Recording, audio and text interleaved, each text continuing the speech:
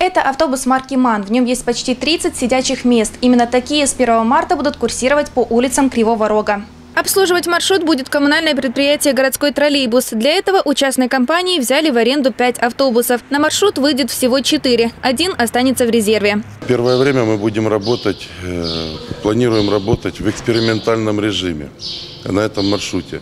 Цель этого эксперимента составляет то, мы хотим, первое, изучить пассажиропоток на этом маршруте.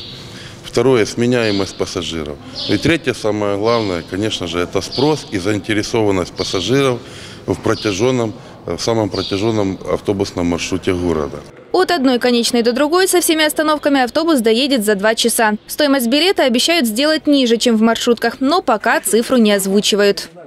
Без сомнений, плюсов есть много, но все же этот вид транспорта не для всех будет удобным. Ведь автобусов на маршруте будет только 4, поэтому ходить они будут с большим интервалом. В сентябре проходил конкурс для перевозчиков на 228 маршрут, но желающих среди частных компаний не оказалось. По мнению специалиста в сфере транспорта Андрея Заславского, перевозчики считают, что ездить так далеко невыгодно. Ведь владельцы автобусов выдают путевки на каждый маршрут, потому чем больше путевок, тем больше прибыль. Но на самом деле это миф. Ездить далеко большими автобусами автобусами – общеевропейская норма.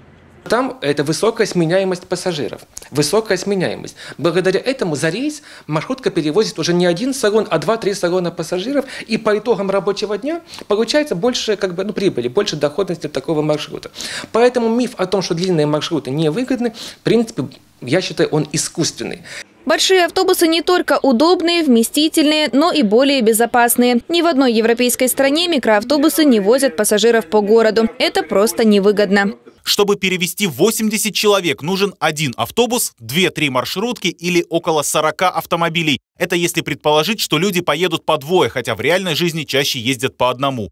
Автобус занимает намного меньше места. Это отличный вариант разгрузить улицы от пробок на самых популярных направлениях. Расписание маршрута коммунальное предприятие «Городской троллейбус» обещает сообщить на следующей неделе. Говорят, подстраиваться будут под работников Севгока. Главное условие, чтобы автобусы могли привести и забрать с работы людей. Вероника Лаврененко, Евгений Жилай, Первый городской.